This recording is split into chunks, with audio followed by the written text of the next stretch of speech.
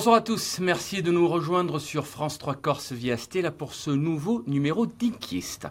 La Corse est régulièrement en proie à des crises liées à la gestion des déchets. Mais au-delà de la Corse, il s'agit là d'un enjeu mondial puisque une mauvaise gestion des déchets contribue au réchauffement climatique, à la pollution atmosphérique et affecte également considérablement les écosystèmes. Si la gestion des déchets coûte cher, car il faut organiser le tri, le recyclage, la collecte, elle est aussi une source de revenus et d'emplois. Nous en parlerons au cours de cette émission. Transformer nos déchets en ressources, c'est l'objectif fixé par euh, la Commission européenne d'ici à 2020. Quelques chiffres pour débuter cette émission. Regardez, la Corse produit chaque année 224 000 tonnes de déchets, 180 000 tonnes sont enfouies, et la Corse génère par habitant 453 kilos de déchets par habitant et par an. La moyenne nationale est un petit peu plus euh, faible, 261 kilos par habitant et par an au plan national. Le plan d'action pour la réduction et le traitement des déchets ménagers de Corse voté le 27 mai 2016 est-il réaliste ou pas? Pour bien comprendre les enjeux du traitement des déchets, les mécanismes, les orientations politiques, Inquiesta donne la parole ce soir à quatre invités. François Sargentini, bonsoir. Bonjour. Vous êtes conseiller exécutif, président de l'Office de l'environnement de la Corse. Marie-Thérèse Mariotti, bonsoir. Bonsoir. Vous êtes maire de la commune de Taïzolac, une petite commune en milieu rural. Vous êtes également euh, élu du groupe Pelaben à l'Assemblée de Corse. Thibault euh, Turchet, bonsoir. Vous êtes conseiller juridique à Zéro Ouest France, Zéro Frades ou Zéro Déchet. François Marquette et enfin président de la communauté de communes de Calvi-Balagne. Bonsoir également. À mes côtés, Anne-Marie Letch de la rédaction de France 3 Corse. Bonsoir, Anne-Marie. Vous signez avec Marion Fiam le reportage que nous allons voir dans un instant. Deux mots sur les conditions de tournage. Parler des déchets, les portes s'ouvrent ou c'est encore tabou?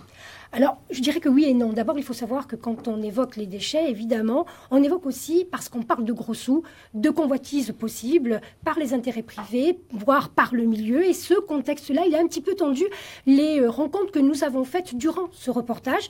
Mais finalement, pas tant que cela. C'était à la marge. Pourquoi? Eh Bien parce que la plupart des acteurs, des opérateurs privés notamment, voulaient montrer à quel point ils étaient, ils sont, ils seront demain nécessaires, selon eux, à la gestion des déchets, à la bonne marche de cette gestion. Alors pour autant, il nous manque ce soir un acteur principal, public, dans l'émission et dans ce débat, eh bien c'est le CIVADEC, le syndicat mixte qui avait été créé en 2005 et qui depuis s'occupe, est chargé de s'occuper euh, du traitement des déchets. François Tat, en est euh, le président depuis sa création, il devait être avec nous ce soir sur le plateau pour débattre.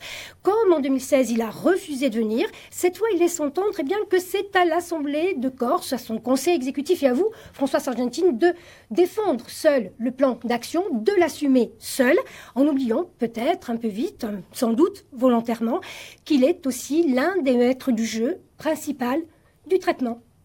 Un petit tour de table, réaction François Sargentini à l'absence du CIVADEC ce soir euh, L'absence du CIVADEC, moi je ne porterai pas de jugement sur le fond. C'est à, à, à, son président de répondre. Par contre, ce que je tiens à rappeler, c'est les différences de compétences qu'il y a. Euh, L'Assemblée de Corse a comme compétence, un, de définir le plan, et deux, d'activer les budgets avec le préfet euh, et, le président de, l'exécutif. Voilà les deux compétences qui, sont, qui, qui, dépendent de l'Assemblée de Corse. Le CIVADEC, lui, a la question du traitement des déchets et les communautés des communes ont la compétence de, je dirais, au niveau de la collecte. Donc, les compétences sont bien réparties euh, aujourd'hui. Euh, je crois, au niveau de, l'ensemble de, la Corse, mais le Sivadec a sa part de responsabilité. On va demander à une élue de droite ce qu'elle en pense. Madame Mariotte, le Sivadec aurait dû être là ce soir bah, Vous auriez des questions à lui poser? Si j'ai des questions à poser au CIVADEC, déjà je lui pose en direct, puisque en tant que délégué de la Costa Verde au CIVADEC, enfin futur délégué de la Costa Verde au CIVADEC, il est évident que le, rôle du CIVADEC est très important, comme l'a précisé le président Sargentini. Et je pense qu'on va revenir un petit peu plus tard dans ce débat sur le qui fait quoi, parce que que ce soit, je pense, le CIVADEC et les intercommunalités que nous représentons, nous sommes de toute façon là pour déployer le plan stratégique qui est fixé par la collectivité de Corse. Donc euh, les trois sont intimement liés, mais forcément les guidelines, on est obligé de prendre nos ordres, entre guillemets, nos grandes, euh, les, grands axes à déployer, les orientations, effectivement, euh, à la collectivité de Corse auprès de l'exécutif. Oui, en ce qui concerne l'absence de François Tati, d'abord, dans un premier temps, je n'ai pas pour habitude de parler de gens qui ne sont pas là. Et d'un autre côté, bon, je prends acte de son absence, je le regrette bien entendu, mais d'un autre côté, nous sommes aussi, je rappelle que le CIVADEC est une, euh, un, syndicat euh, mixte. Qui regroupe les intercos et Mme Mariotte et moi-même étant adhérents de ce syndicat, nous le représentons de facto nous aussi un peu, même si le président n'est pas là. On se retrouve dans un instant, dans une vingtaine de minutes, pour le débat. En attendant, nous allons voir l'enquête d'Anne-Marie Letch, de la poubelle à la facture, une enquête euh, montée avec euh, Marion Fiam et Christophe Gineste. À tout à l'heure.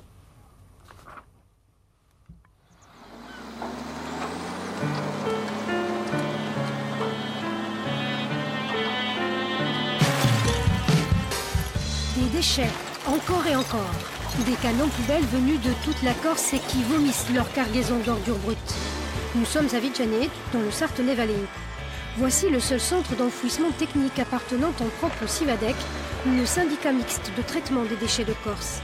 Le site est géré par un entrepreneur privé. Depuis cet été le blocage du CET de Prunel, Vigianet, réquisitionné par l'État, est le seul exutoire de Corse pour la presque totalité de ses déchets. Ici, on dépasse sans complexe et en toute légalité les capacités d'enfouissement limitées normalement à 45 000 tonnes annuelles. En 2017, 180 000 tonnes de déchets produits en Corse ont été enterrés. 92% des ordures générées par les ménages. Un traitement archaïque et une dérogation des dépassements pour répondre à l'urgence, faute de solution dans l'île.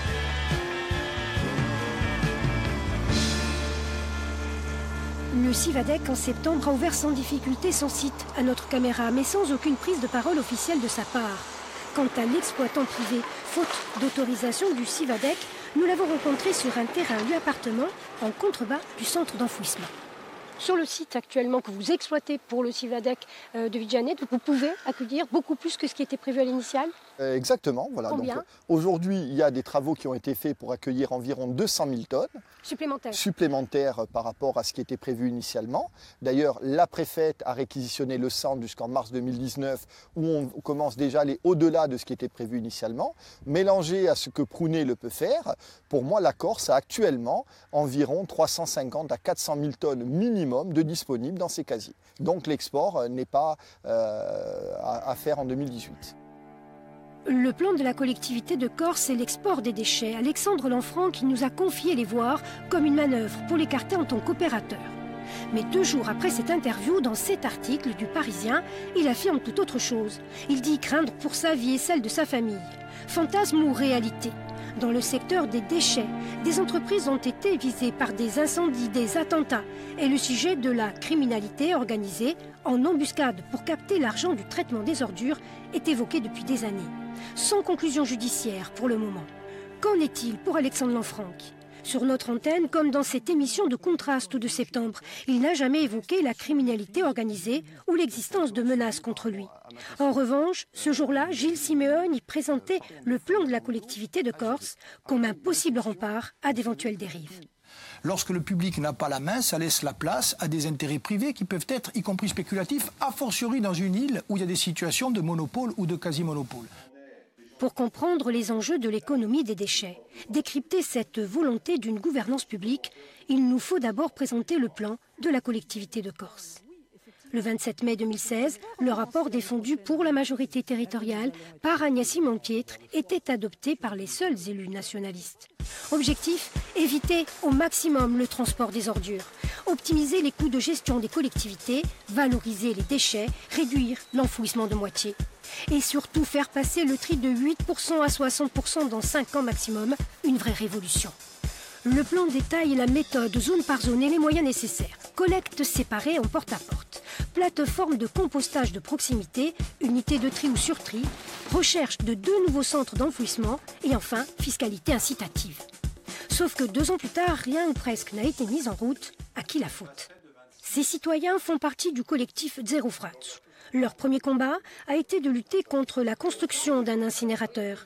Ils ont peur de son retour dans le débat, s'inquiètent du retard pris et de l'ordre des priorités des décideurs, le surtri plutôt que la collecte. Il est urgent de mettre en place la collecte des biodéchets.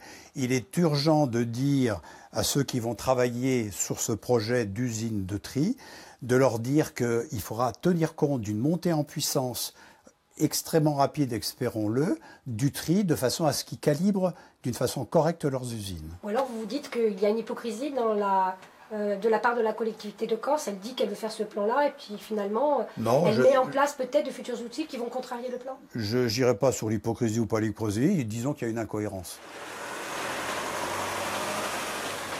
Algajoul, petit village de Balagne de 200 habitants l'hiver, 10 fois plus l'été.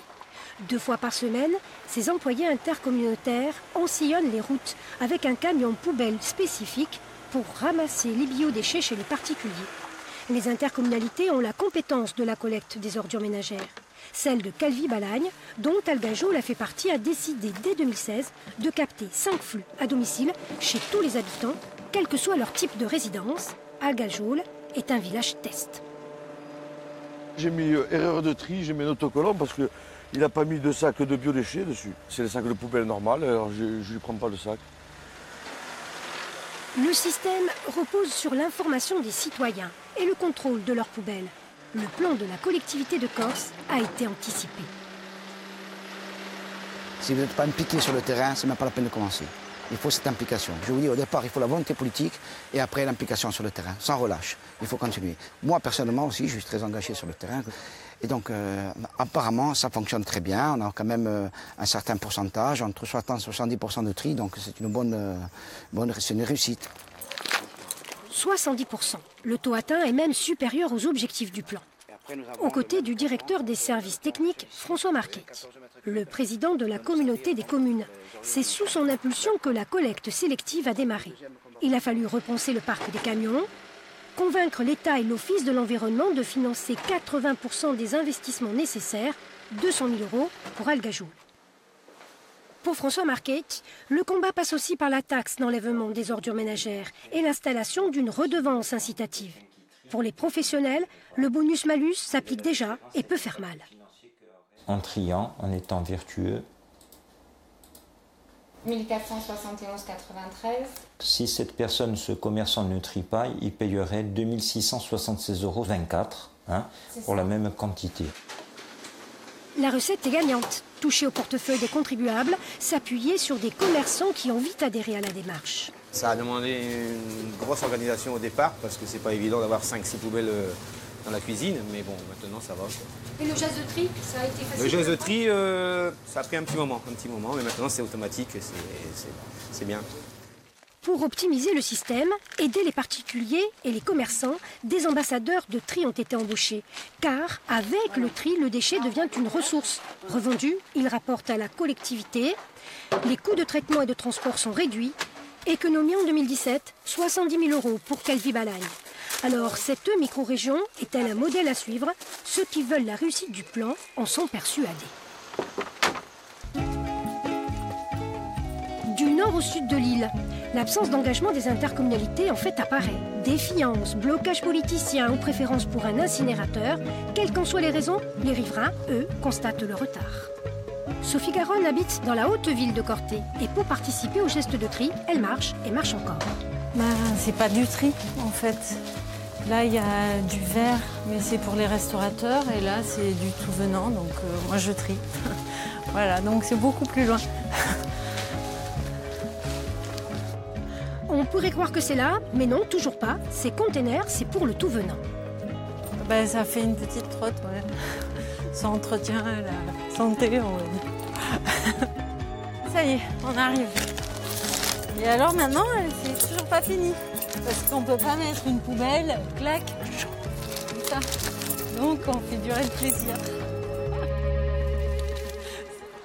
Collecte sélective mal organisée, y compris pour les professionnels, obligés comme ce commerçant de trier ses cartons à même le sol. Point d'apport volontaire transformé en dépotoir, à Corté Centre-Corse, il y a encore du travail à faire et c'est le cas de beaucoup de territoires.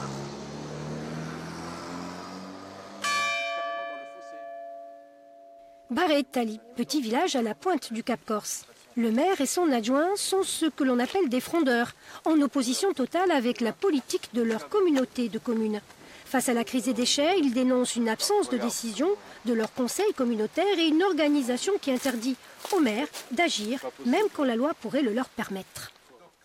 Nous avions proposé à la communauté des communes de, mettre en place une plateforme de biocompostage expérimentale et micro-régionale qui aurait concerné la commune de Barrette et les communes alentours, Pino, Cannes, Ariogliastre par exemple, euh, pour pouvoir l'aménager ici, puisque ce sont des terrains communaux, à proximité du maraîcher euh, qui aurait utilisé ce compost et qui aurait participé à, à l'entretenir et, à le faire.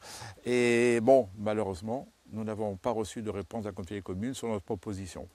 Un accord pourtant indispensable. En 2016, déjà, Barré Italie avait mis en place un tri sélectif à la source, toujours sans l'autorisation de sa communauté de communes. Résultat en quelques mois, 60% de déchets retirés de l'enfouissement. Mais la communauté de communes du Cap leur avait imposé de tout arrêter. Fin des efforts des habitants de Barré Italie. Retour du coût du traitement à la hausse.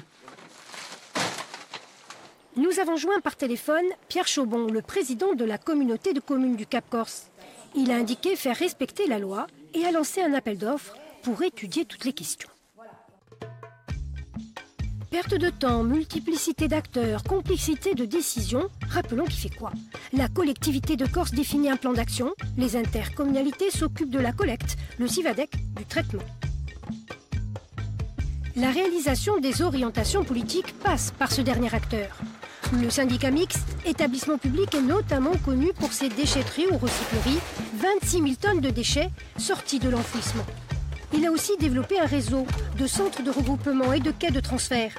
En revanche, le CIVADEC toujours a confié à des opérateurs privés le tri mécanisé, le transport et l'enfouissement. Comment les acteurs publics peuvent-ils alors s'insérer davantage dans ces dernières phases? Prenons d'abord le transport. Demain, pourrait se faire en grande partie par le train. Les chemins de fer de la Corse ont d'ailleurs étudié la question pour rentrer dans le jeu. Il faut savoir que si on transporte le, les déchets par train, un wagon, un convoi remplacerait 26 camions sur la route. Donc au-delà du bilan carbone, je pense qu'en termes de coût et en termes d'efficacité, et en termes, bien entendu, pour les chemins de fer de développement économique, parce que c'est de ça aussi qu'il faut parler, ça serait une très bonne opération et tout le monde y trouverait son compte. Transporter aujourd'hui les déchets euh, euh, qui sont sur la ligne au chemin de fer, bien entendu, nous coûterait en frais fixes 1 500 000 euros. 1 500 000 euros pour transporter une grande partie des déchets par le train. Trois fois moins cher que le transport par camion. Le CIVADEC qui passe le marché indique un chiffre de près de 6 millions d'euros. Le train est donc fortement concurrentiel. Mais le plan des chemins de fer connaît en revanche une difficulté majeure. L'un des futurs centres d'enfouissement devra nécessairement être installé à côté d'une voie ferrée. Or, pour l'instant, les projets de centre capotent les uns après les autres. Moi, je pense qu'on avance. Je pense qu'il y a des projets qui avancent. Après, il peut y avoir, euh, il peut y avoir des difficultés.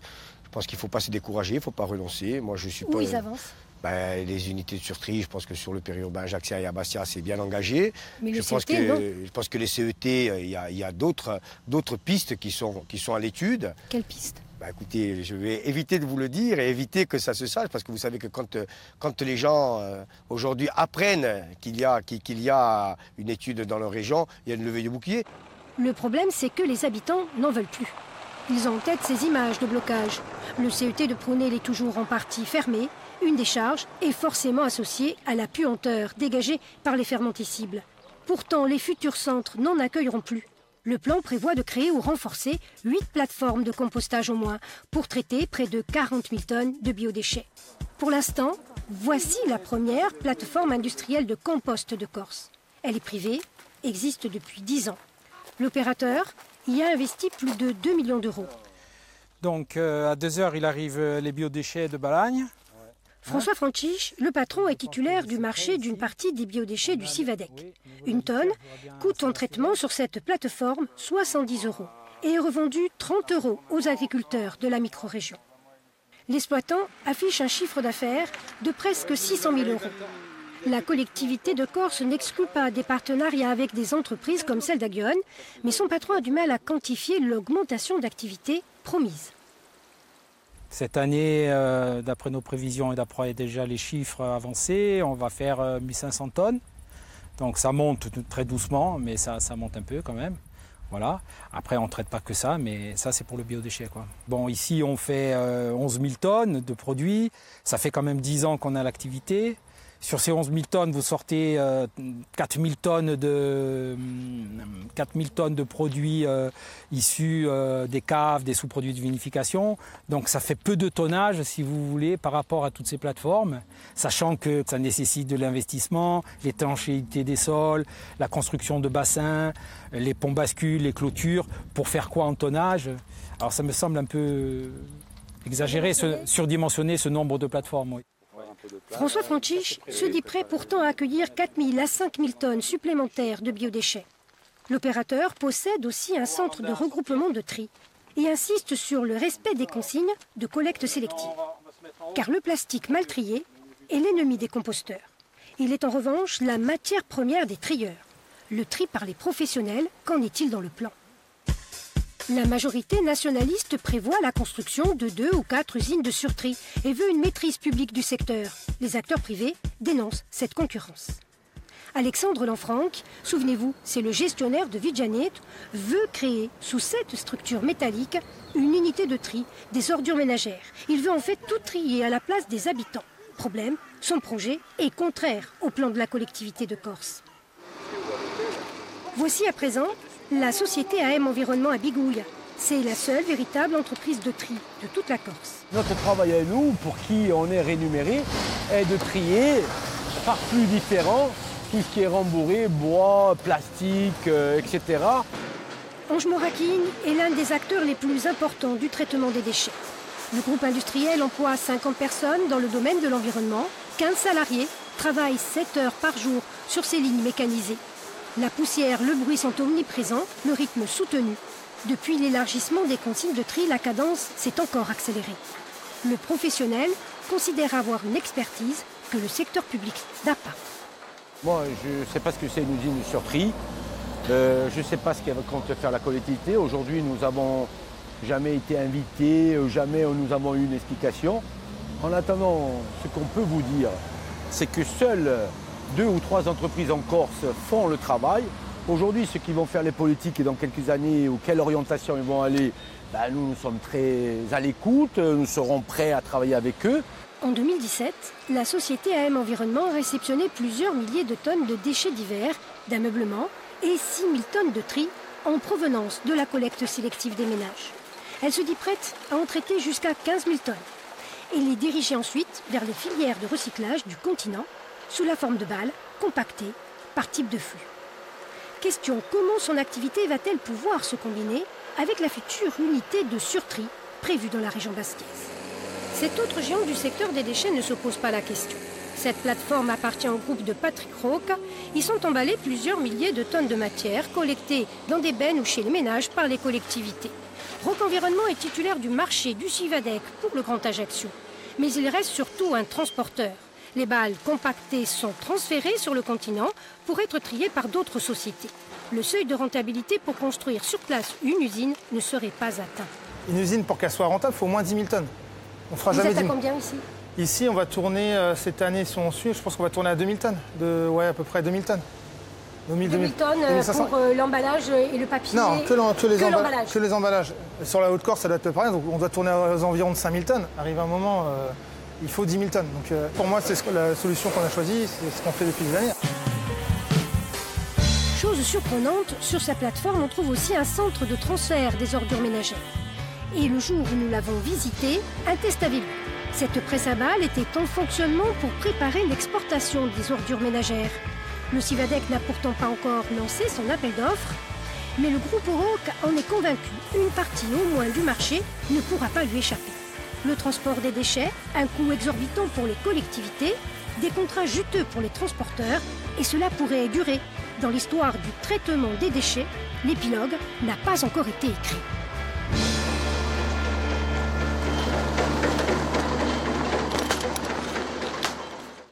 Voilà pour cette enquête d'Anne-Marie Lech et Marion Fiam, image assemblée par Christophe Ginest. Anne-Marie Lech y faisait référence dans son enquête. Le dispositif d'exportation des déchets insulaires est donc lancé. Jusqu'à 83 000 tonnes d'ordures ménagères seront enfouies dans la Vienne et incinérées en Occitanie, alors que la Corse avait refusé ce mode de traitement. François Sargentini, vous décidez de faire brûler nos déchets ailleurs. Les nuisances, c'est pour les autres, en fait. Non. Je crois qu'il faut s'expliquer sur le choix qui a été fait de rajouter au plan l'export. Euh, pour une raison bien simple, c'est que le plan que nous prévoyons va engager des dizaines de millions d'euros euh, pour, euh, la Corse, pour la collectivité, et y compris, je dirais, pour les, citoyens de, ce pays. Et on, ne peut pas engager des dizaines de millions d'euros et ne pas se donner des soupapes de sécurité les sports, pour nous, c'est une soupape de sécurité, ce n'est pas un choix stratégique qui est fait. Et en même temps, c'est dépenser beaucoup d'argent, parce qu'on parle, pour ce qui est du transport des déchets hors de Corse, euh, de 300, voire 350 euros la tonne, rien que pour le transport, qui se rajouterait au traitement. Exact, Donc, vous hypothéquez peut-être aussi une partie de votre plan en dépensant et en demandant aux collectivités. Écoutez, pour, le moment, nous, pour le moment, nous n'en sommes pas là. Pour le moment, nous n'en sommes pas là. Euh, les sports, effectivement, le CIVADEC euh, a ouvert aujourd'hui deux marchés euh, sur, la question de l'espoir. Pour le moment, nous travaillons toujours sur une solution corse parce que je suis persuadé que si nous travaillons tous comme nous devons le faire, c'est ici, c'est ici que nous devons régler euh, ce problème, ce, ce problème-là. Mais je vous le répète, la question de l'espoir ne viendra que si le besoin s'en fait sentir euh, et doit servir euh, uniquement de soupape de Anne-Marie a raison d'insister pardon, sur, sur le prix. En 2011, la CAPA d'Ajaccio avait choisi d'exporter ses déchets. 250 euros la tonne, c'était il y a 7 ans. 7 ans. Presque 8 ans. Aujourd'hui, l'estimation est à 300 alors que vous allez parcourir trois fois plus, une distance trois fois plus importante, 800 km. Mais, mais, mais, comme le dit Anne-Marie, comment est-ce que vous pouvez garantir que vous allez rester à 300 euros la tonne? Mais toutes ces données-là vont être prises en compte et je crois que le moment venu, nous ferons les choix stratégiques qu'il faudra Donc ça pourrait augmenter. Ça peut augmenter. Ben, si, demain nous nous trouvons dans une situation de blocage, que nous ne réussissons pas ici à trouver les voies et les moyens de régler la question des déchets, effectivement, il faudrait bien, il faudrait bien en trouver une. Il, faudrait bien en trouver une. Mais la question que je pose moi aujourd'hui, et je pense que tous les élus de ce pays sont responsables de, je, dirais, un de leur mandat et un et, deux de ce pays.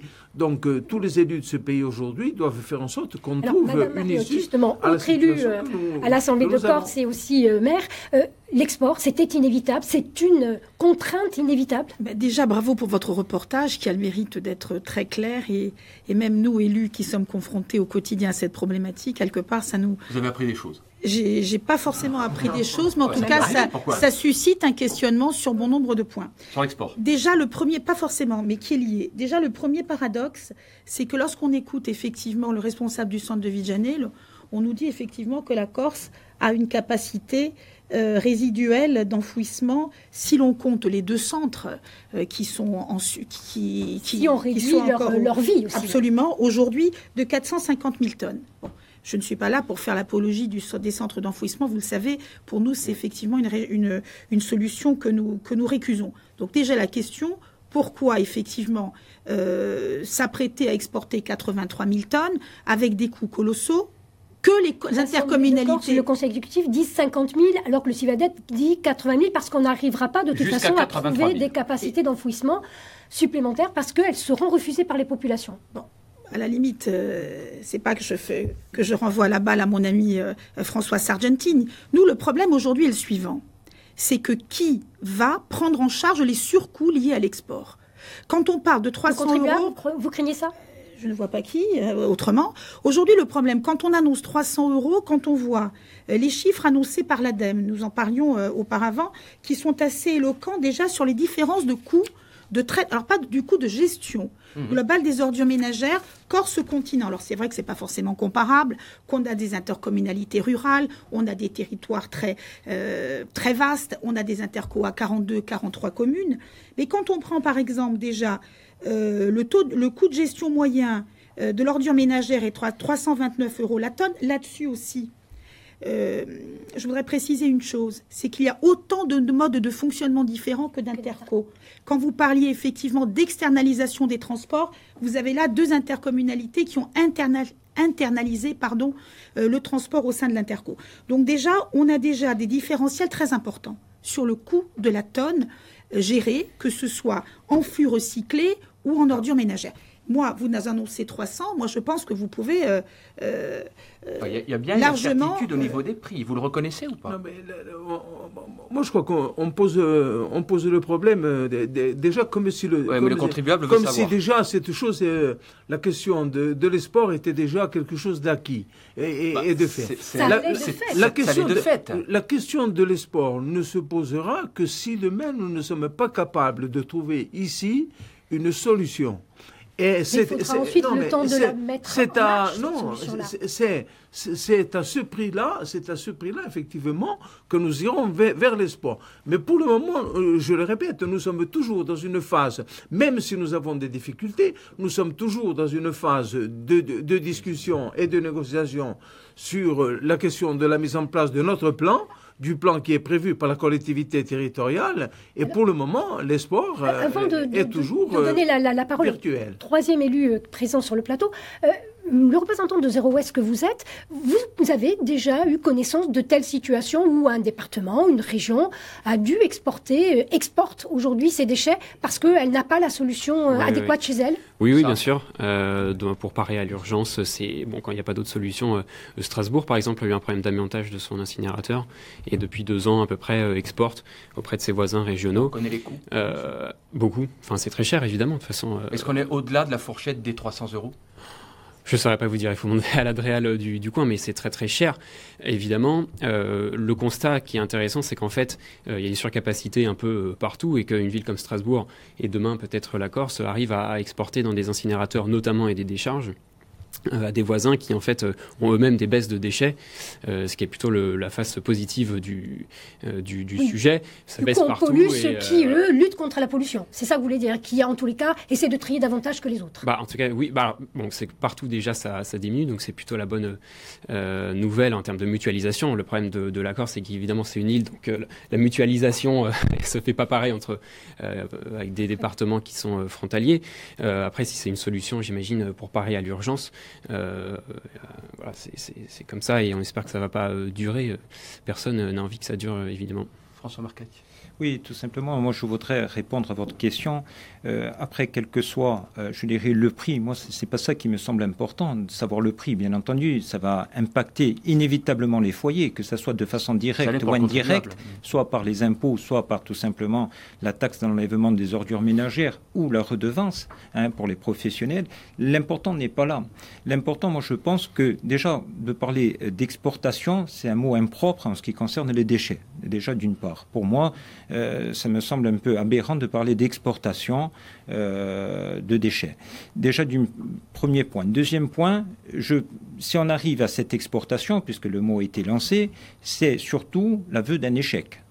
Et cet échec n'incombe pas ni à une majorité, ni à une personne en particulier, c'est l'échec, un échec collectif que nous devons avant tout assumer et faire en sorte de euh, relever, relever un défi.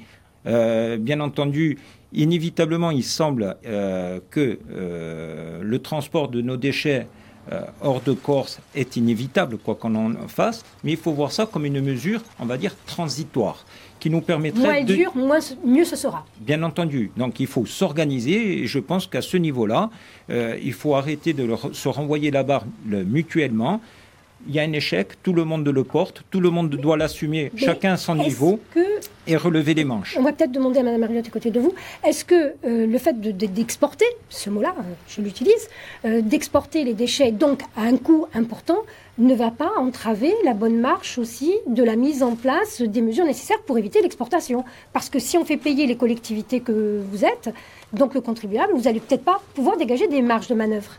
Et moi, je pense qu'il faut remonter, si vous voulez, à l'origine de la situation actuelle. Alors, on ne peut pas demander à la majorité actuelle de régler en trois ans ou en quatre ans euh, un problème qui perdure quand même depuis, euh, depuis des décennies. En revanche, je fais un peu la jonction avec le plan déchets dont vous, avez, dont vous allez parler probablement. C'est la seconde partie, c'est dans un instant. Donc euh. Mais est-ce que je peux quand même bien sûr, de rebondir là-dessus? Euh, pourquoi nous nous étions prononcés défavorablement alors, sur le plan d'échec qui avait été présenté en avril-mai 2016. Mai 2016. C'est ça. Parce que nous pensions que les hypothèses de base qui avaient été prises pour bâtir ce plan n'étaient pas réalistes. Je m'explique. Quand on part d'une situation dans laquelle est la Corse aujourd'hui, En même temps, on va en parler après. on va en parler après. Donc... donc tout ça pour dire si dès l'origine, donc s'il y, il y a trois ans de ça, dans quelques mois, on avait évalué de façon un peu plus raisonnable et réaliste les taux de tri, l'objectif de tri que l'on voulait atteindre à trois ans. Trois ans, c'était, c'est extrêmement court. On en aurait par conséquent, on aurait été capable de dimensionner beaucoup plus euh, de façon beaucoup plus fiable les tonnes, le tonnage résiduel. Aujourd'hui, on s'est retrouvé avec un. La difficulté, c'est qu'il n'y a pas d'enfouissement possible. Si vous voulez éviter l'exportation en attendant d'obtenir des taux de, Moi, si vous voulez, vous avez tout à fait raison, mais je pars du principe que si on, s'était dit. Notre objectif n'est pas à 60% à 3 ans parce qu'il n'est pas réaliste. Il est, allez, 30, 35, 40%, peu importe. On, on en aurait déduit quelque part qu'on ne se retrouverait pas aujourd'hui avec 180 1000 tonnes de déchets résiduels, qui est à peu près un seuil à peu près stable, nonobstant l'augmentation de la population, euh, sur les bras. Donc aujourd'hui, moi, la question effectivement que je pose, c'est ces 180 000 tonnes qui, d'après les études et les projections que l'on en fait, vont demeurer encore à ce stade pendant un bon bout de temps, parce qu'il y a une augmentation de la population, que va-t-on en faire? Donc moi, la question que je pose sur ce plateau, on nous dit qu'il y avait des capacités d'enfouissement disponibles, pourquoi exporte-t-on? Très vite, François Sargentini, vous répondre. Euh, oui, pour répondre à Madame euh, euh je crois que le plan qui a été voté, il a été longuement réfléchi, longuement mûri. Hein, donc, euh, bon, mais sur cette question, puisque on y reviendra tout à l'heure. Maintenant, je, je, voudrais quand même dire une chose, c'est que oh, nous sommes, nous travaillons aujourd'hui avec un temps extrêmement contraint et nous sommes euh, en train de prendre des décisions qui auraient dû être prises il y a cinq, euh, voire sept années de cela. Donc euh, aujourd'hui, eh oui, elles auraient dû être prises il y a bien longtemps, les, décisions que nous avons prises, que nous, que nous ah, sommes en, en cause les majorités précédentes en, train de prendre aujourd'hui. Non, non, Ou est-ce que c'est collectif, c'est collectif comme l'a dit non, mais non, mais c'est un constat. C'est un constat que nous, que, que nous faisons aujourd'hui.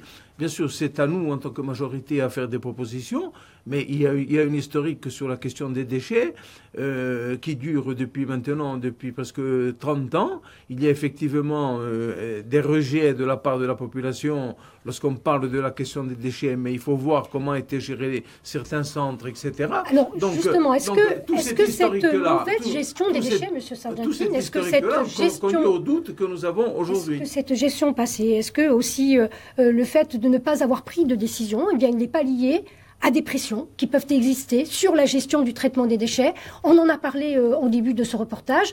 On va aussi peut-être euh, écouter, euh, vous pouvez répondre, mais on va peut-être aussi écouter une autre réaction. Est-ce qu'il y a aussi cette pression qui est sur les élus, qui a été sur les élus, qui est sur les acteurs du traitement et qui empêche de trouver et d'engager de, les politiques qu'il faudrait? Écoutez, moi, je, ne, je, n'ai pas connaissance, moi, en tant que. Moi, je, moi, moi j'ai en tant que responsable euh, de l'Office de l'environnement, pour, je n'ai jamais eu euh, la moindre contrainte euh, sur les décisions qui ont été prises et que nous sommes en train de prendre. De, on en parle pourtant, y compris dans la recherche de centres d'enfouissement non, non, non, non, pas, pas, du tout, pas du Castifa, on n'a pas été pas du tout, pas du tout. rejeté écoutez, parce qu'il y avait des pressions écoutez, sur le propriétaire. Castifa, Castifa a été annulé par le maire parce qu'il y avait un, débat dans le village, parce, qu'il y, parce, que le terrain a été retiré à la vente par son propriétaire. Parce que, et, le, terrain a été retiré à la vente par son propriétaire, parce qu'il y avait des discussions et des débats dans le village. Mais écoutez, moi je ne connais pas de pression à ce niveau-là. et, je n'ai jamais entendu parler de, de, pour ce qui est de ma part de pression et je n'ai jamais eu connaissance de pression. Maintenant. Euh, la, presse nationale en fait état. Le Parisien euh, a rédigé un article il y a quelques semaines qui fait état d'une mamise hein, du grand banditisme sur la gestion des déchets. Une volonté en tous les cas. En tout cas, une volonté. Vous avez rencontré l'un des acteurs, on le voit dans votre enquête, c'est Ange Moraquigne, et vous lui avez posé la question. On va écouter sa réponse. Moi, si je savais qui c'est qui m'aurait mis le feu, j'aurais pas besoin ni des gendarmes, ni des policiers, ni du Parisien pour résoudre mon problème. Malheureusement, j'ai porté plainte car je ne sais pas qui c'est qui a mis ce feu criminel. Je sais qu'on l'a mis aussi à Franchich à 4 ou 5 points à l'intérieur du hangar. Tout ce que je peux vous dire, c'est que nous sommes des gens et des travailleurs. Nous ne sommes pas issus ni de quoi que ce soit, ni de ce qu'il peut dire euh, le Parisien. Moi, Vous, vous continuez de travailler. moi, je travaille et les Parisiens, euh, le, le journal Le Parisien, ferait, ferait mieux de venir nous voir comment nous travaillons. Parce qu'ici, il n'y a pas de mafia, il n'y a que des travailleurs. Alors, est-ce qu'effectivement, le milieu est dans l'ombre pour euh, essayer, en tous les cas, de s'accaparer le traitement des déchets, les élus que vous êtes?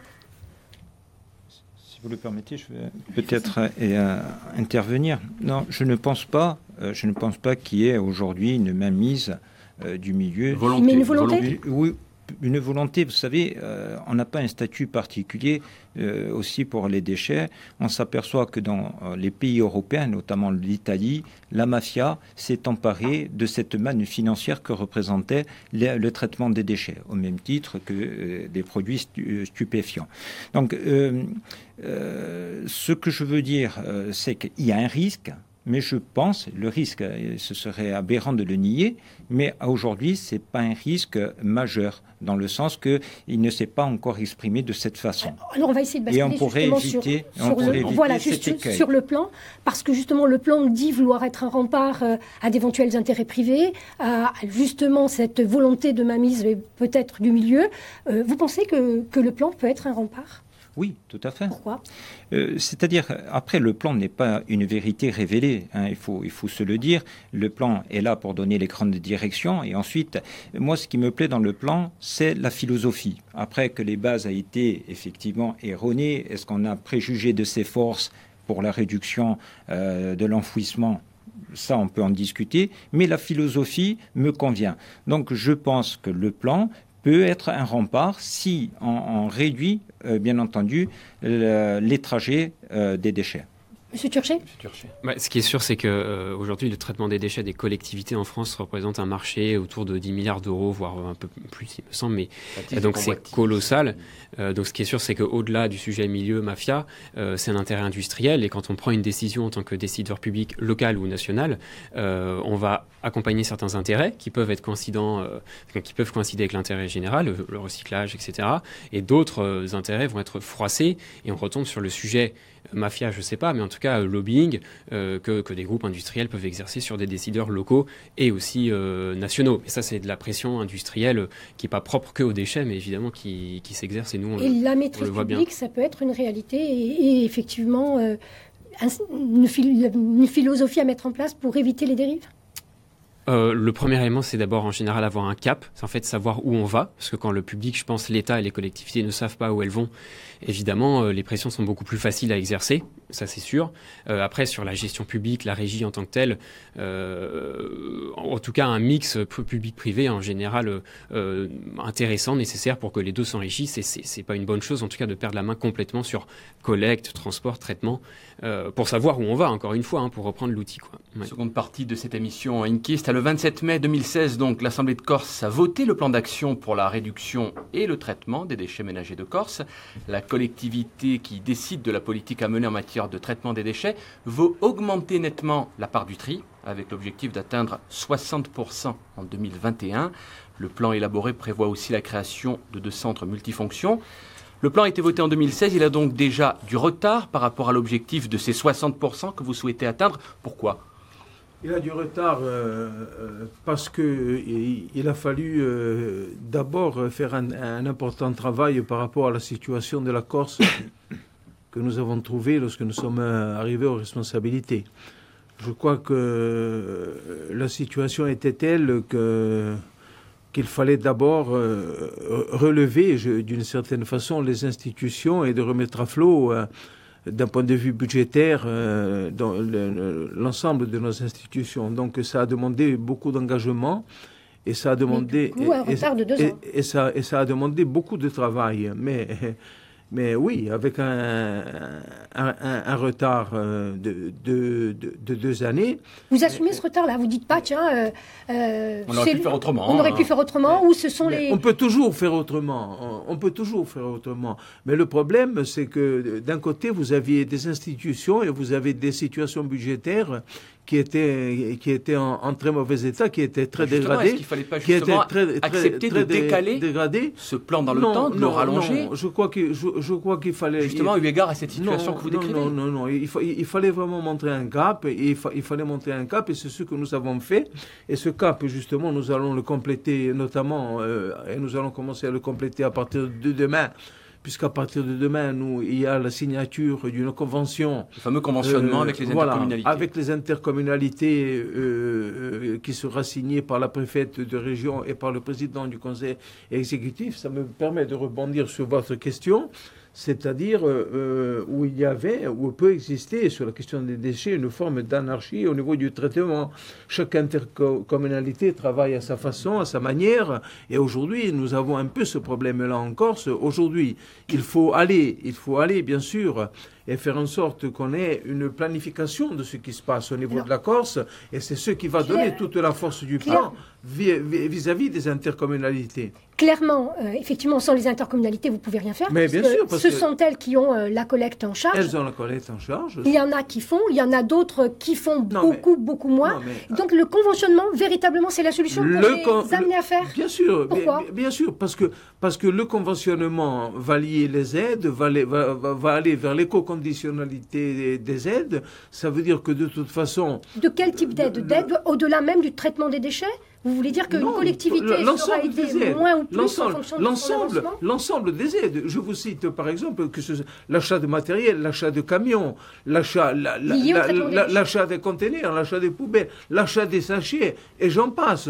Tout ce qui est nécessaire à la collecte demain doit rentrer dans un cadre, doit rentrer dans un cadre généralisé et faire en sorte qu'on arrive à avoir une unité de traitement sur l'ensemble du territoire, chose que nous n'avons pas aujourd'hui. Mais en même temps, mais en même temps, ce que je, ce que je veux rajouter, parce que c'est extrêmement important, nous allons aussi renforcer le, le, je dirais, le pôle de soutien aux intercommunalités au niveau de l'Office de l'environnement. Et avec le soutien de la collectivité de Corse, nous allons mettre bien sûr des ingénieurs, nous allons mettre des agents qui vont suivre les intercommunalités, non pas épisodiquement. Monsieur Marquet, avoir ce soutien-là qu'il a été difficile d'obtenir euh, visiblement en 2016 Oui, tout à fait. Tout d'abord, je voudrais revenir une fois de plus sur le bilan des, autres mandatures. Je ne suis l'avocat euh, d'aucune mandature. Euh, je suis un élu. J'estime que l'élu, il y a un temps pour faire de la politique, un temps pour la gestion. Je pense que six mois sont largement suffisants pour faire une campagne électorale et ensuite les citoyens nous élisent pour gérer. Et effectivement, quand nous prenons une commune, une interco, une région, il y a l'actif et le passif, et on a tendance à prendre l'actif et le passif. Il y a forcément un actif, il y a forcément un passif. Je souligne tout simplement au passage que les précédentes mandatures n'ont eu que des majorités relatives jusqu'à présent. Et ça, c'est important de le souligner. Ça peut dans les décisions. Ça peut, ça peut.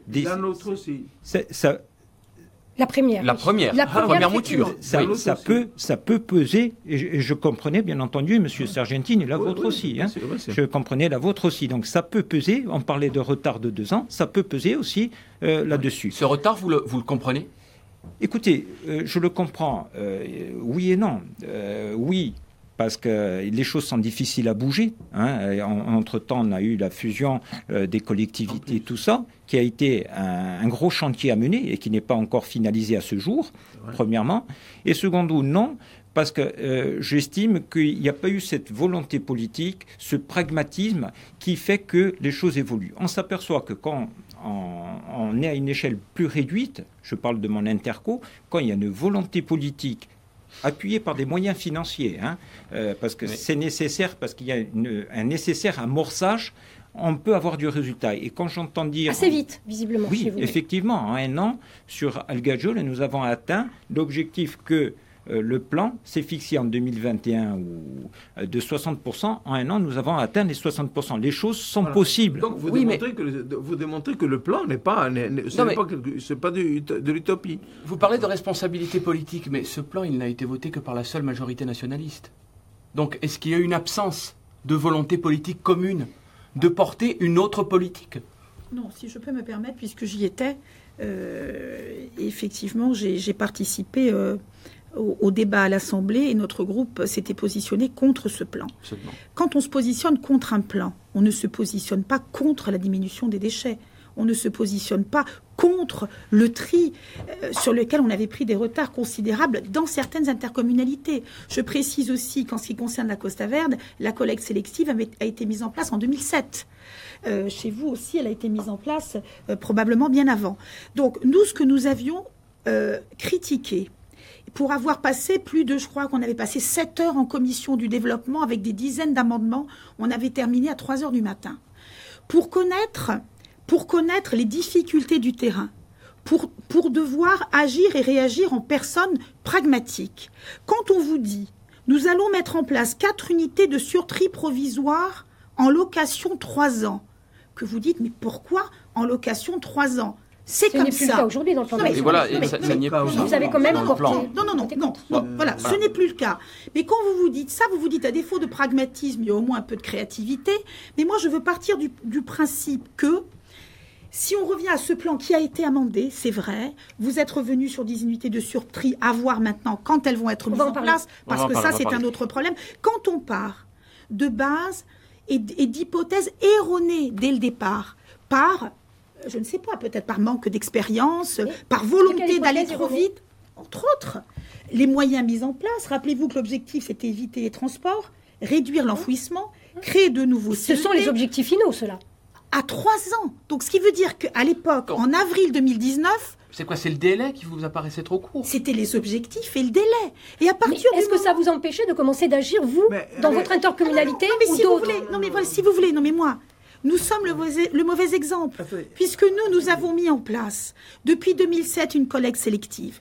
Nous avons la collecte du, du biodéchet au porte-à-porte. Nous avons une éco-charte avec les mairies, avec les communes, pour collecter le, le carton. Non, mais que, quand je dis ça, François Sargentini, c'est pas du tout pour critiquer, c'est que pour dire non, mais c'est pas ça. Ceux, ceux qui commandent les délais, c'est la fin de vie, de, je, je, dirais, des centres existants et, du système que, que nous avons aujourd'hui qui, qui, existe.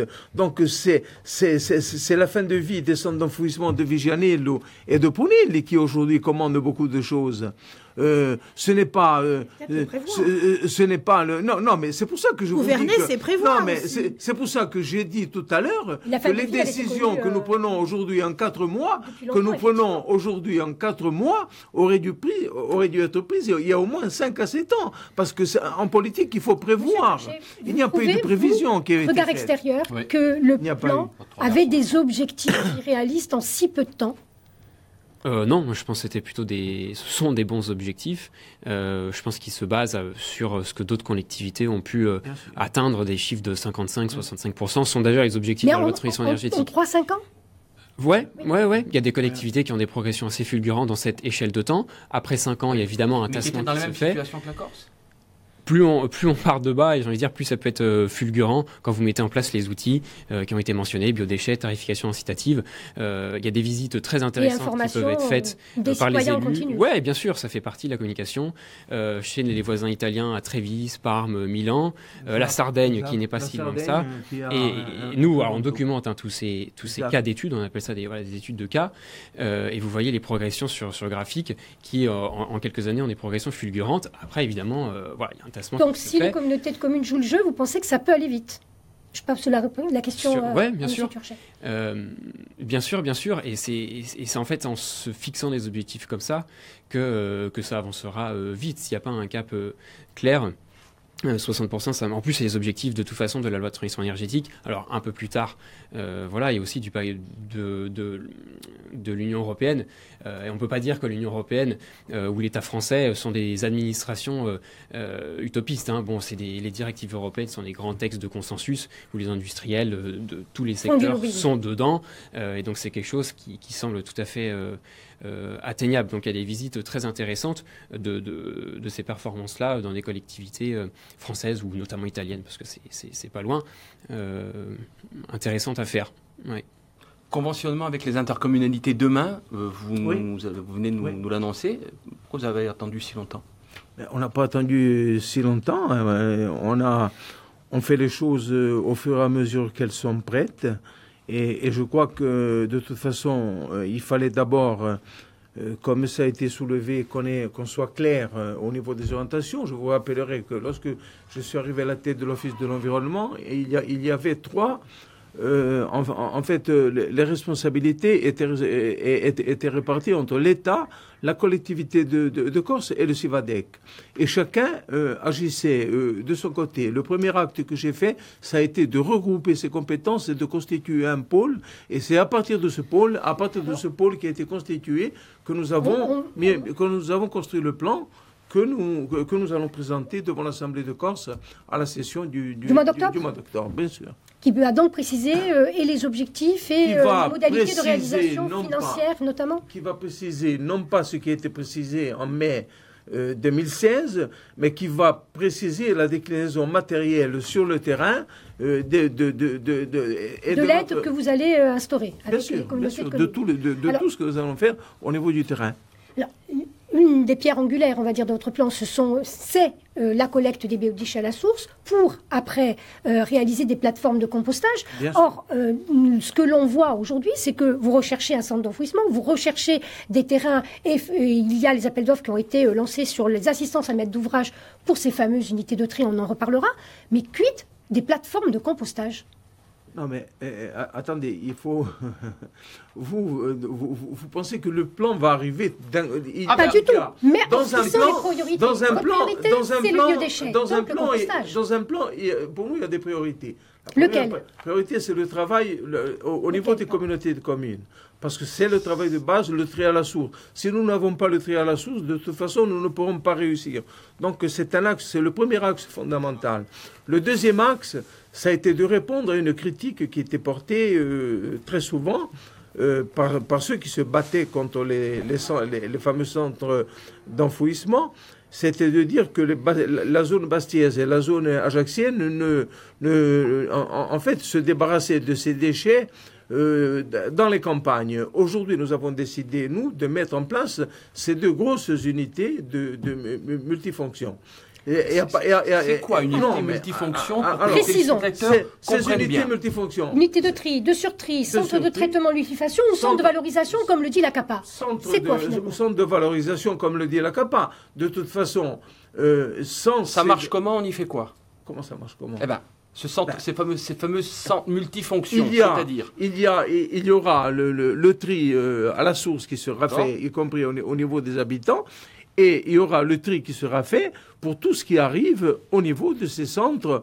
Tout sera repassé au niveau de ces centres et, tout sera retrié au niveau de, au niveau de ces centres. Donc, donc les grosses agglomérations de Corse vont pour la première fois vont pour la première fois avoir euh, le traitement euh, de, de, leurs déchets. On n'a pas inversé l'ordre des priorités des choses. Pas du tout. C'est une question. C'est une question. C'est une question. vous ne dites pas du tout. Aux autres vous dites pas du tout, M. Sargenti. Qu'en pense par exemple Mme Mariotti, M. Marchetti Si vous voulez. Déjà, c'est un sujet extrêmement complexe. Bon vous avez. Euh, alors, je suis, on est là aussi pour défendre un peu le point de vue des intercommunalités qui reçoivent tout en entonnoir. Et d'ailleurs, nous serons demain, je représenterai l'intercommunalité pour signer la convention, bien volontiers, mais en même temps, nous n'avons pas trop, euh, comment dirais-je, de mérite, puisque tout ce qui est inscrit dans la convention, nous l'avons déjà réalisé. Bon, euh, vous pas complètement. Pratiquement, pas complètement. Autrement, vous auriez envoyé vos biodéchets dans une plateforme. Soyez modeste. Il faut être modeste non, non. pour que tout ce qui est dans la convention est loin d'être réalisé encore. Non, non, c'est pas ce que je vous dis, monsieur Sargentini. Il faudra qu'on la lise, cette convention. Voilà, c'est ça. Mais, attendez. Il faudrait que nous puissions la lire. Non, vous l'avez, vous l'avez. Donc, non, monsieur Sargentini, ce n'est pas ce que j'ai dit. J'ai dit que demain, j'aurai l'honneur de représenter mon intercommunalité de Costa Verde, qui effectivement pas tout fait, mais qui a quand même avancé dans le bon sens, qui prouve quand même que cette ah, bah, convention a un certain nombre d'orientations qui tiennent la route. Il manque un volet financier, mais ça, je pense que ça viendra, un volet financier précis. Je m'entends. Ah, voilà. Je pense que ça viendra peut-être, euh, peut-être euh, un petit peu plus tard. Euh, si vous voulez, c'est un sujet compliqué. Et c'est un sujet que l'on ne peut pas aborder par un simple uniquement, par exemple, par le volet du tri, par le volet du surtri, vous l'avez souligné, c'est un tout. Et la difficulté, c'est que tous, c'est que ces différentes actions, que ce soit le compostage, que ce soit le tri, le surtri, la valorisation, que tout ça, effectivement, euh, euh, comment dirais-je, euh, rentre en scène de façon effectivement harmonieuse. Monsieur Sargentini, je, je, vous défends sur ce point de vue-là. Donc, effectivement, je vous dis que c'est quelque chose d'assez compliqué.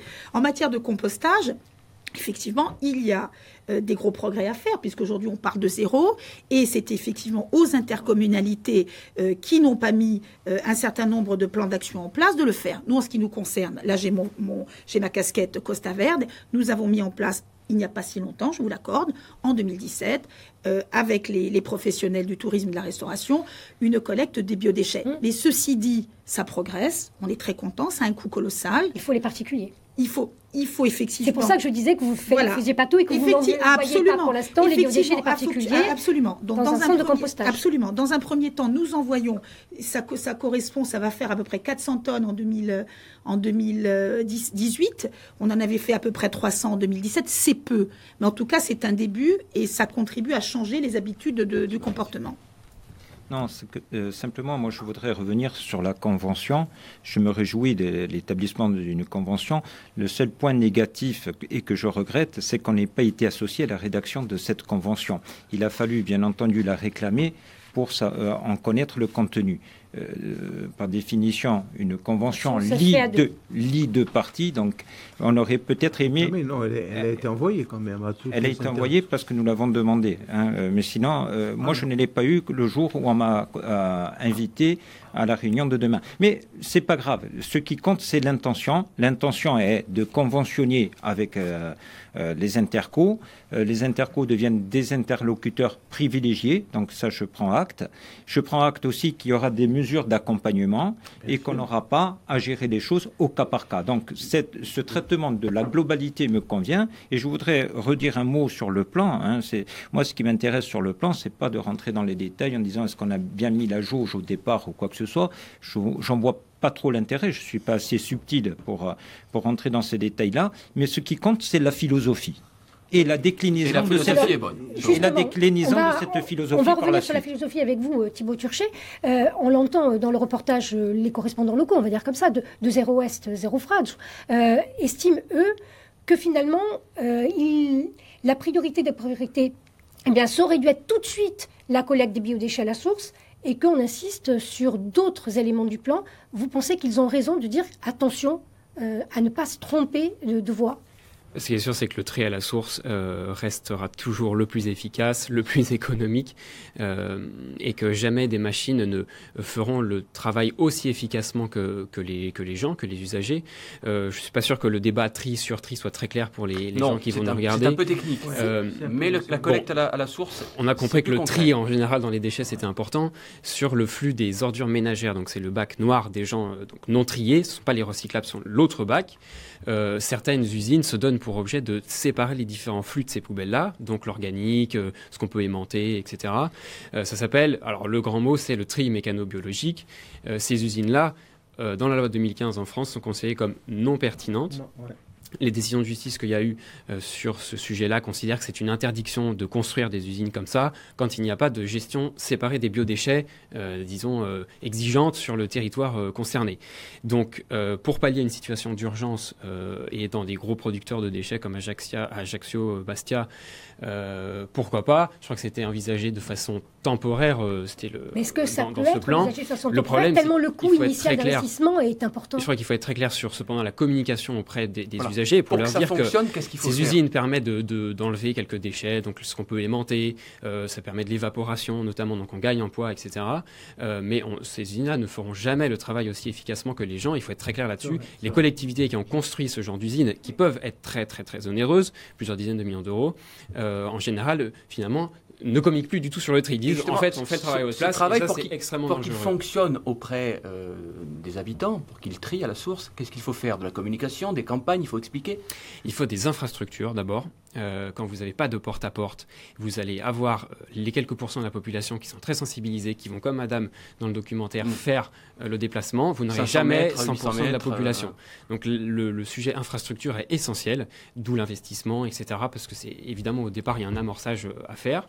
Et évidemment de la communication. Les gens ont besoin de comprendre euh, où les déchets vont, qu'est-ce qu'on va en faire. Euh, les coûts, bon, c'est déjà plus subtil, mais euh, il y a besoin d'associer les gens pour qu'ils comprennent et qu'ils participent. Les, gens sont capables de comprendre et de participer quand ils ont l'information. Et nous, c'est ce qu'on constate partout dans les collectivités performantes, c'est que les gens sont associés, ils comprennent ce qu'ils font. Cette communication, vous la faites? Oui, tout à fait. Comment? Euh, Moi, je pense que la base du succès, c'est la connaissance du terrain. Et nos succès, si tant est que ça en soit, je veux dire, mais nos résultats, plus, euh, plus précisément, sont euh, tiré d'une connaissance approfondie du terrain. Et on parle d'usine de surtrie, après appelons-la comme on veut. Moi, je pense que déresponsabiliser le citoyen n'est pas forcément une bonne chose. Une façon de dire ne vous inquiétez pas, vous triez ce que vous pouvez, et après il y a la machine qui, qui, qui fait derrière, c'est pas forcément une bonne chose. Je pense, une fois de plus, quand il y a la volonté politique, l'implication, et le chef des services techniques le disait dans votre reportage, Madame Lech, euh, quand il y a une implication du personnel technique sur le terrain, une implication politique, la réussite est. Euh, il y va, y compris pour sanctionner ou pour expliquer en tous les cas aux gens pourquoi fait. ils ont fait l'erreur, effectivement. Et je pense qu'à ce moment-là, on peut atteindre rapidement, l'espace d'un an, quand les moyens y sont, quand nous sommes accompagnés par l'Office. Et le tri et peut rapporter gros à la communauté de communes que vous présidez ou pas Oui, oui, tout à fait.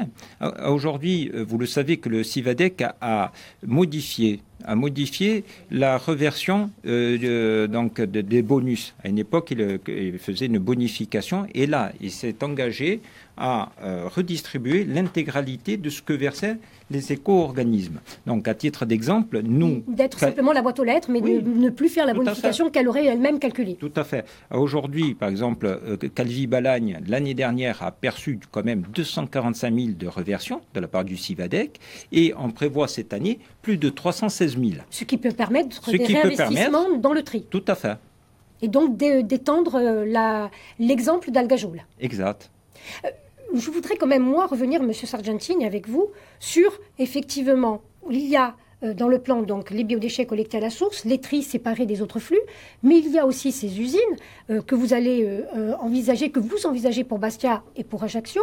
Pour Ajaccio, il y a le projet de la CAPA, en fait, que vous avez finalement accepté après avoir dit qu'il ne correspondait pas à votre plan. Non. Mais dites-moi dites où est-ce qu'il peut encore correspondre à votre plan, nous le sommes, projet de la CAPA Nous sommes pleinement associés avec, le, avec la CAPA, puisque l'Office de, de l'environnement... Il y a un paradoxe. Mais il y a, pour nous, il y a un paradoxe. Non, il n'y a pas de oui. paradoxe. Mais quand on entend la descriptive non, du projet, oui, ils veulent investir 30 millions d'euros pour 30 ans minimum, avec un amortissement. Ils disent effectivement prévoir désormais deux entrées, l'entrée des flux, des emballages, etc., qui ne pourront être que retriés comme un peu ce qui est fait aujourd'hui par l'acteur privé AM Environnement, puis une autre entrée qui est, non pas pour les biodéchets, parce que pour l'instant, ils ne font pas les biodéchets à la source, ils n'envisagent pas de le faire dans un délai court, mais les OM, les ordures ménagères non triées. C'est pas contradictoire. Euh, Guy, euh, les ordures... Turchet nous expliquait à que c'est la base. Que c'est la base et que ce n'est pas véritablement la, la, conforme la avec la loi de transition la énergétique. La CAPA signera comme les intercommunalités le, de, de, demain. Le, le, Donc il va s'engager lui Non, aussi, mais- mais elle sûr. aussi, pardon, la CAPA, Mais, bien- mais bien sur les sûr, la CAPA et la CAB vont. Mais bien sûr, la CAPA et la CAB vont, s'en- vont, vont s'engager dans, dans, dans cette euh, stratégie-là.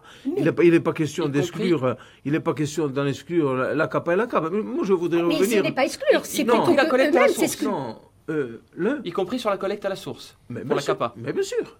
Mais bien sûr. Bon, Mais nous On, verrons. on Nous- en prend acte, on en mais prend en même nous verrons temps, demain on lors se de la dit, semaine monsieur attendez. Sargentine, on se dit, monsieur Sargentine, comment vous allez pouvoir effectivement contrôler ça, puisque c'est la maîtrise publique qui est voulue dans votre plan, Oui. euh, alors que euh, finalement, vous n'allez pas vous-même signer l'appel d'offres, ni le rédiger. Non, mais Pour la non, future non, usine, non, du nous, projet nous ne, d'Ajaccio. nous ne signons pas l'appel d'offres, mais nous sommes, euh, nous, euh, Office de l'environnement aussi, nous avons un droit de regard sur ce qui est en train de se faire au niveau de la CAPA, et pas plus tard qu'il y a euh, Donc, c'est pas 15 une jours, j'ai fait, fait une réunion, j'ai fait, une réunion avec les responsables de la CAPA, et nous avons fait le point sur l'avancement du projet de la CAPA, et le projet de la CAPA doit rentrer dans le, dans, dans le cadre général qui est prévu par la loi. Le projet de la CAPA ne peut pas s'exclure des, des- des lois, que ce soit des lois de l'État ou que ce soit des directives européennes. Il ne pourra pas, sinon il ne passera pas. Il ne passera pas, il sera attaqué, il ne passera pas. Donc la CAPA n'a aucun intérêt à- demain à rentrer dans le cadre d'un projet qui, qui, qui, qui- qui risque de ne pas se réaliser. Donc, mais moi je voudrais revenir sur un point parce que on, saute autour les airs. Moi je, moi, je, moi, je voudrais d'abord revenir au plan. Le plan, il repose Mais sur nous- nous le plan. Non, mais le plan repose sur un triptyque le, le, le, le, tri à la source à partir des intercommunalités, les centres de tri, alors appelons-les multifonctions ou, ou euh, appelons-les parce que les, les, les, gens ne, ne, ne, ne, vont pas, ne vont plus, ne, ne, ne, vont plus rien y comprendre. Et il y a bien sûr les centres de stockage qui sont nécessaires à, à, construire, à construire l'équilibre du plan. Voilà. Après, après, après viennent se greffer autour, dans le cadre de l'économie circulaire que, que, nous comptons construire, les centres de compostage, les centres de méthanisation, les centres de stockage, voire d'autres moyens qui existent aujourd'hui. Mais tant que nous n'aurons pas les trois composantes principales qui seront en fonction, nous eh ben, n'aurons pas... Parmi les composantes, il y a les centres de stockage. vous n'en avez pas Comment nous n'en avons pas Pourquoi vous dites que Où allez-vous en, faire ben, Il y a déjà euh, celui, le, centre de... On parle des nouveaux. On, parle des nouveaux, pas ceux qui existent. Bien sûr, bien sûr. On parle des nouveaux. Euh, il y en a un sur lequel les, les, études se poursuivent et sont passées, Multifar, et sont passées au deuxième stade, de, je dirais, un stade qui va durer... Euh, je crois, entre 8, 8 mois et un an et qui va nous donner la réponse définitive sur la faisabilité. Sur, la faisabilité. Vous passerez, euh, même si la population locale euh, s'insurge? C'est pas vous passerez même si la population locale s'insurge. Je crois que de toute façon, il faudrait bien qu'on s'explique, qu'on explique notre plan. Nous avons fait, nous avons pris même l'initiative de faire une réunion publique au Fiumorbo. Donc, euh, nous étions prêts à aller à la réunion publique euh, organisée par le maire de Castifao pour expliquer notre projet. Donc, nous n'avons rien à cacher euh, à l'opinion. Nous avons réuni. C'est le avons... du plan, le fait de ne pas avoir de centre. attendez, nous avons réuni. Nous avons réuni concernant le centre de Multifort quand même, contrairement à ce qui était dit, qu'on avait fait ça en catimini, nous avons quand même réuni la communauté de communes euh, de, de, euh, Pasquale qui a quand même 68 délégués. Donc, Multifa, donc, 8 à 12 mois, donc, hein, en gros. Multifa, 8 à 12 mois d'études. Un an, un an. Un an. disons, un an, disons autour d'un an, un, an d'études. D'autres pistes? Il y a d'autres pistes, bien sûr. Pour le moment, je ne vous les dévoilerai pas. Combien? Mais il y a d'autres pistes, au moins deux. En Haute-Corse, en Corse du Sud? Euh, je, ne vous, je ne vous dirai pas où, pour, le, pour, le, moment, pour le moment, il y a des pistes qui sont on, des pistes sérieuses ou... Écoutez, il y a des pistes qui sont. Est-ce que les études ont commencé sur ces pistes Non, non, non, pas encore, pas encore. D'accord. Pas encore. Est-ce que c'est le point faible L'absence de nouveaux centres d'enfouissement? Est-ce que c'est l'un des points faibles du plan? Bon, Je pense qu'un des points faibles du plan, je vous l'ai dit, mais je. je... J'ai pas l'impression. C'est le délai. J'ai pas l'impression qu'on est. On l'a bien compris. Non, mais c'est le délai. C'est-à-dire qu'aujourd'hui, on va peu ou prou avoir toujours 180 000 tonnes, 175, 180 000. je ne suis pas d'accord avec vous sur, ce point. Ça, veut dire que le plan est un échec à ce moment-là. Non, non, ça veut dire, attendez, attendez. Si on reste sur les chiffres, si on reste sur les bases permanentes de 180 000 tonnes, ça veut dire que le tri n'avance pas, ça veut dire que nous, le plan ne fonctionne pas. Ça veut dire. Et j'ai repris les chiffres que j'ai validés auprès de l'ADEME. Peu ou prou, nous avons, je, valide bien évidemment les chiffres que vous avez évoqués, 224 000 tonnes, dont 180 000. Euh, à fin 2017, ou les tendances 2018, ces 180 000 seraient 176 000. Pourquoi? Nous avons une augmentation du volume global de déchets de 7 Mais pourquoi? Parce que nous avons une tendance démographique beaucoup plus dynamique que la moyenne. Oui, Donc effectivement, nous avons voilà et nous avons des flux touristiques. Est-ce que ça justifie et nous avons l'augmentation du, nous avons des flux touristiques Il y a eu l'incendie aussi des deux centres qui a créé, qui a créé, qui, fait augmenter le pourcentage. Les, les tendances globales. Et c'est pour ça qu'il y a un point qu'on a oublié d'évoquer, c'est qu'aujourd'hui on parle d'indicateurs, on parle, on emploie des terminologies, mais il faudrait déjà que tout le monde se mette d'accord qu'on définisse des indicateurs une bonne fois pour toutes, qu'on ait les mêmes tableaux de bord, je ne parle pas pour vous en particulier, de façon à ce que quand on annonce le lundi 35% de tri, le mardi 40%, qu'on ait effectivement des définitions inattaquables et un vrai tableau de bord partagé avec tout le monde. Ça, je pense que ce sera très bien.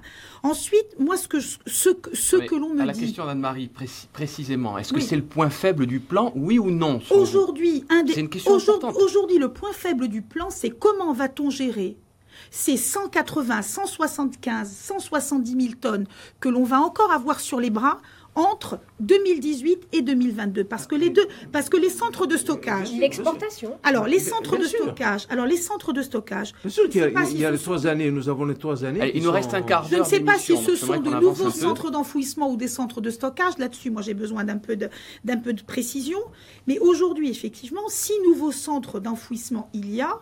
Un an, vous êtes, à mon avis, extrêmement euh, optimiste. Pour les études, simplement. Voilà. Les- les études. Entre les études, après, effectivement, les études environnementales, etc. Les recours. on va se fait. retrouver- Non, mais là, par exemple, moi, sont faites, les aujourd'hui- études moi, aujourd'hui, ma environnementales. problématique en tant qu'élu de terrain, c'est comment va-t-on gérer dans un premier temps Vous avez compris qu'on souscrit à tout ce qui peut contribuer à diminuer euh, ces tonnes d'ordures à enfouir, qui demeurent quand même une solution particulièrement néfaste pour tout. Comment va-t-on gérer entre mi-2018 et on va dire 2022 Moi, ça, ça me pose un véritable problème. Eh ben, On va c'est- demander un regard extérieur.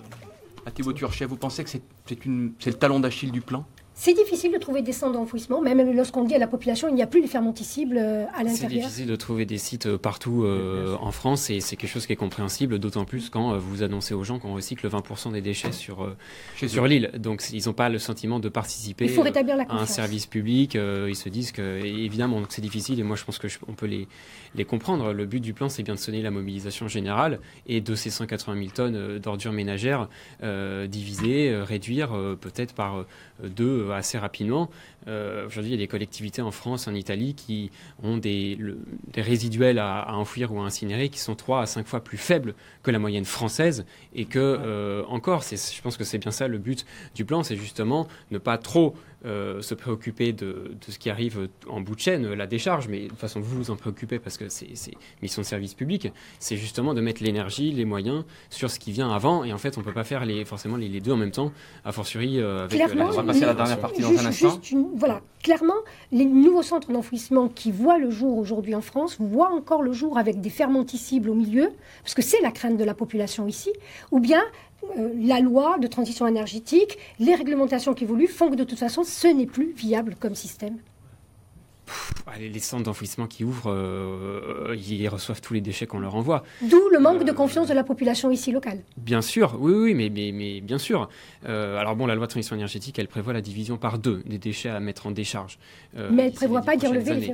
Euh, donc, euh, donc à partir de là, euh, l'État est en train d'adapter la fiscalité pour arrêter les baisses de taxes aux décharges qui captent le biogaz. Bon, il y a plein de, il y a plein de choses à mettre en cohérence.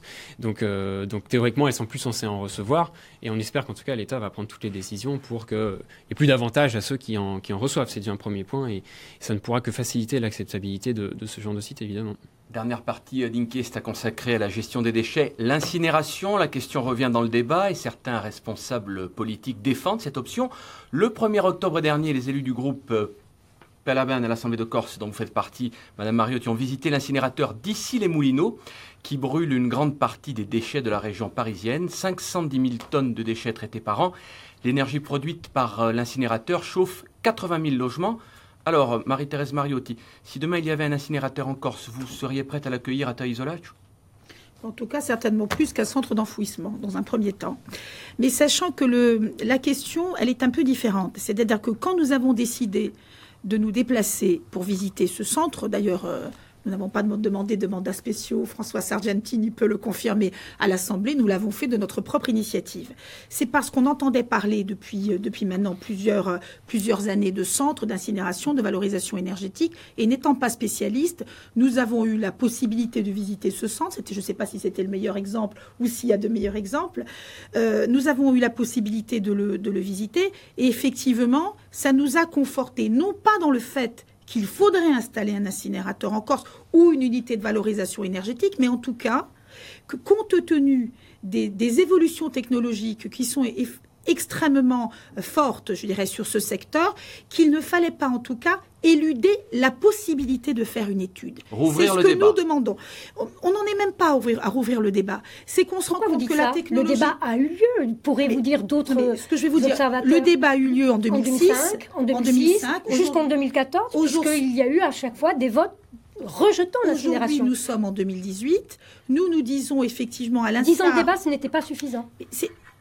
Le problème ne se pose pas en question de débat. Le problème aujourd'hui, c'est de dire, compte tenu du problème du tonnage résiduel qui demeure, alors vous me dites, qui demeure et on aura toujours un seuil incompressible. Mais pour vous, il est plus facile de construire un incinérateur et plus rapide? Non, non. Solution plus rapide qu'un centre d'enfouissement? Pas du tout. Moi aujourd'hui, je certainement encore plus long avec les recours, le Conseil d'État. Non, vous ne croyez pas? Aujourd'hui, ce que nous disons, nous disons qu'on ne sait pas si la valorisation énergétique est la solution adaptée à la Corse. Mais nous disons aujourd'hui, lorsqu'on s'intéresse, et je pense que vous êtes beaucoup plus spécialiste que moi sur le sujet, quand on entend parler de pyrolyse, de gazéification, dans un moindre dans une moindre de plusieurs techniques. de plusieurs techniques de méthanisation, nous nous disons il serait peut-être bon, parce que ça évolue tellement rapidement. Nicolas Hulot, le premier, a dit il ne faudrait pas le mettre de côté. Alors certains ont dit c'est parce qu'il est victime de lobby, blablabla. Bon, nous pas disons. Il est simplement financé dans sa fondation par les principaux lobbies. Nous, aujourd'hui, nous disons. d'incinérateurs.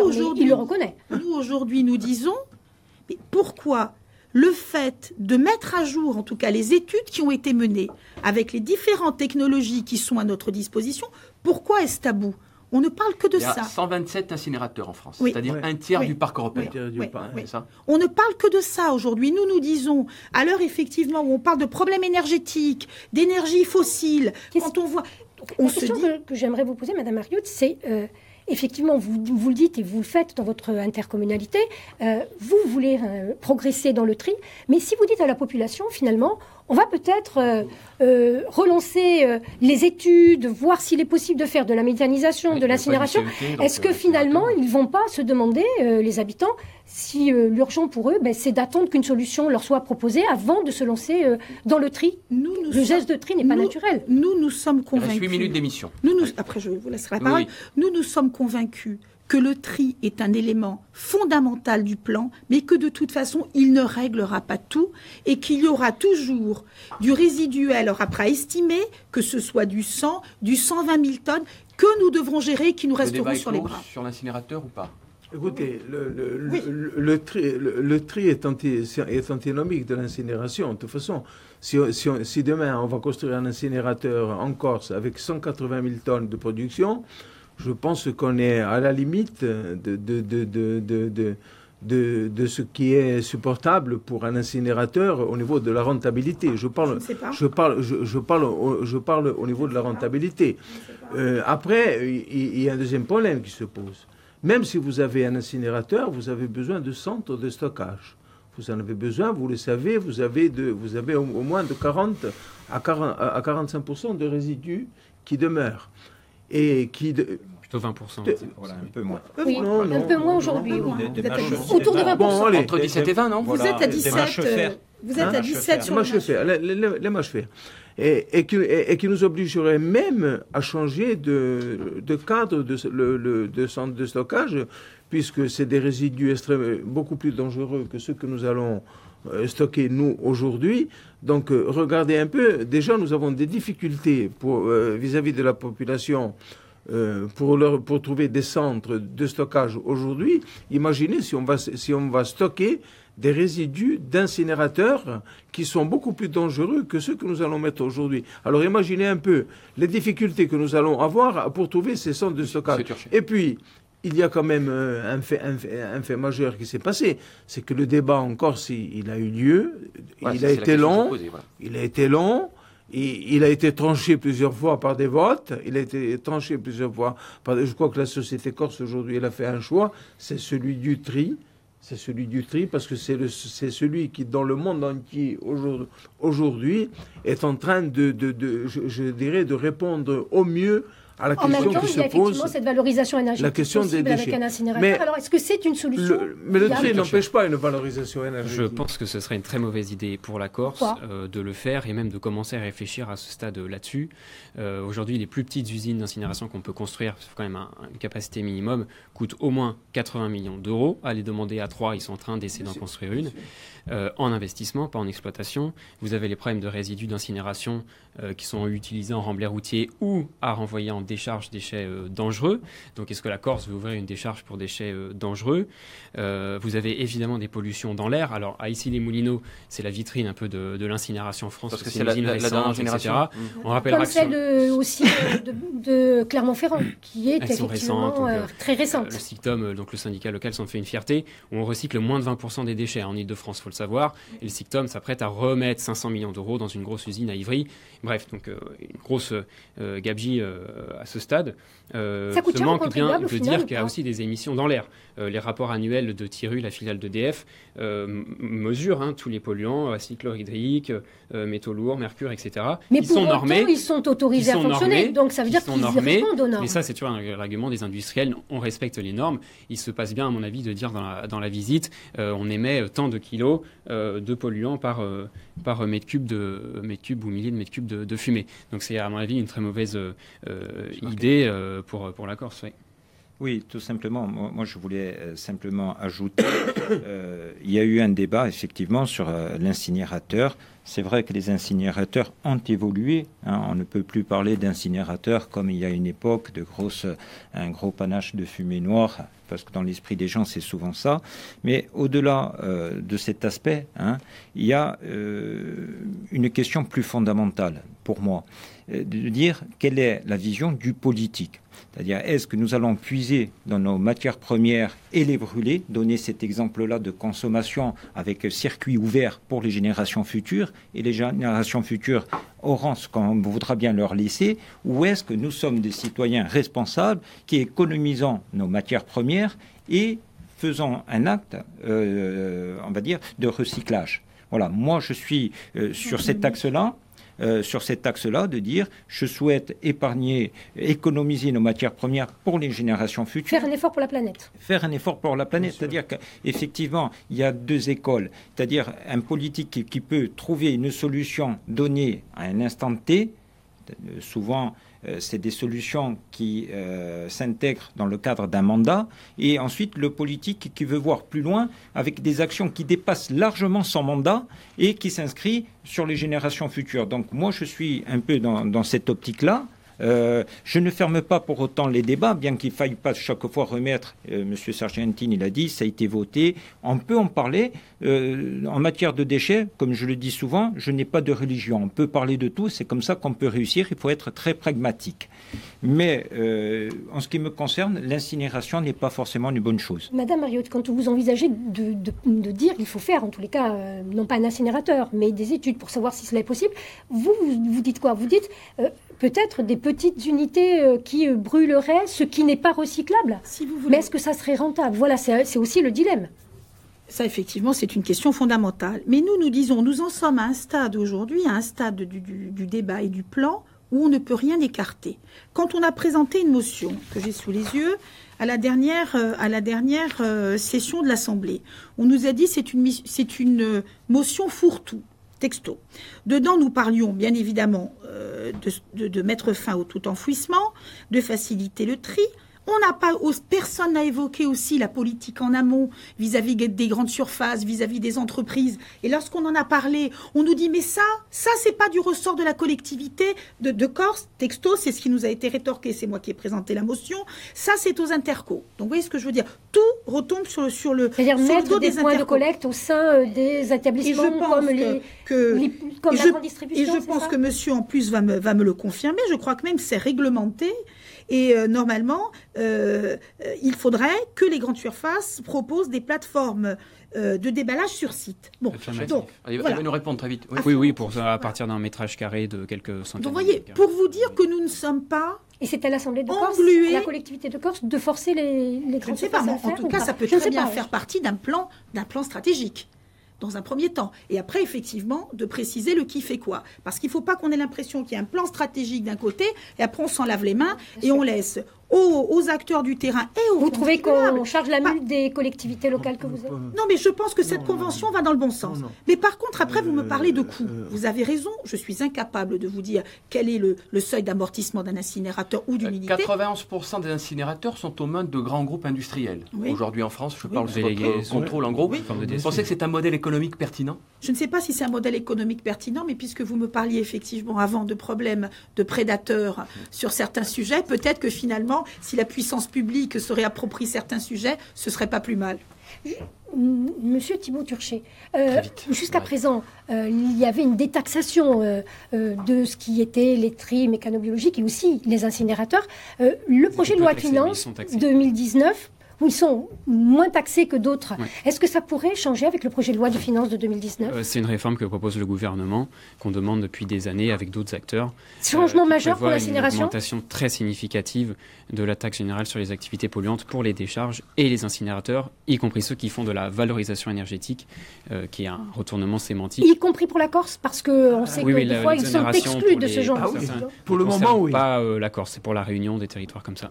Ça va Donc, vraiment changer la donne. c'est vraiment majeur. Ah oui, oui, oui, bah nous on l'espère, c'est bien le signal. Le, but c'est pas faire payer plus cher aux collectivités par plaisir, euh, c'est qu'elles prennent ces décisions-là, parce que les collectivités qui ont le, taux d'enfouissement, enfin d'ordures ménagères les plus faibles par habitant, ça c'est le référentiel national des coûts ADEME, en dessous d'un certain ratio ont des coûts qui sont plus faibles, euh, moins élevés que les collectivités les moins performantes, disons ça comme ça. Donc le but c'est bien euh, stabiliser, voire faire des économies en augmentant ça, parce qu'il coûte cher, c'est l'incinération, les décharges et voilà.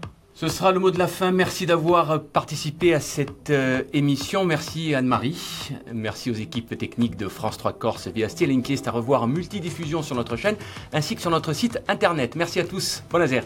Merci. Bonsoir.